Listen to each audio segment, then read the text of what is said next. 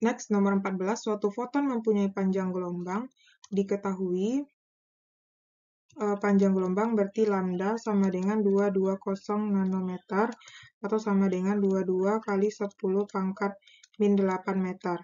Hitung berapa elektron volt energi yang dilepaskan. Berarti yang ditanya adalah E ya. E tapi dalam bentuk uh, elektron volt ya. Nah, jadi uh, kita cari dulu rumus E itu adalah H C per lambda, ya kan?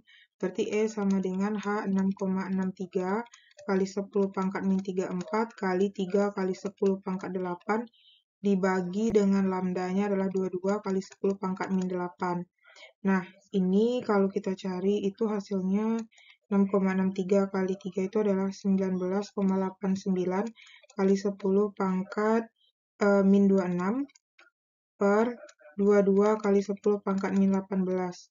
Nah, ini kalau kita bagi itu hasilnya adalah 0,9 kali 10 pangkat eh, eh ini kok min 18. Ini pangkat 8 aja ya.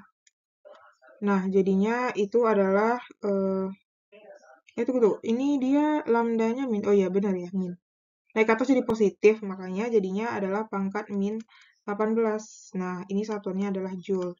Kalau kita mau merubah ke elektron volt, berarti 0,9 kali 10 pangkat min 18 joule dibagi dengan uh, 1,6. 1,6 kali 10 pangkat min 19 elektron. Uh, ya. Nah, jadinya ini adalah dapat 0,9 bagi 1,6 adalah 0,56 kali 10 pangkat 1 ya kan ini coret min 1 min 1 naik ke atas jadi positif jadinya uh, elektron volt nah atau 5,6 elektron volt. Nah, ini dalam bentuk elektron volt ya.